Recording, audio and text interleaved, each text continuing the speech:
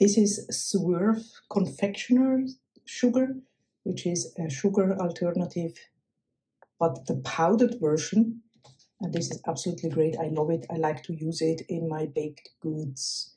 You can use it for several type of things that you make, especially if you don't want to bake, like for puddings or creams and things like this. It's great because it really blends very well into the product and it doesn't crystallize.